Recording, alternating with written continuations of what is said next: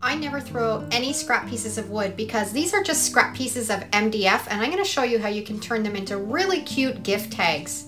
I had some old wrapping paper that I found at the thrift store and I'm just cutting out some images to fit that MDF that I've painted with some white chalk paint. I'm just cutting it a little bit bigger than the piece of wood and we're going to use our Mod Podge mat and decoupage it onto that piece of wood.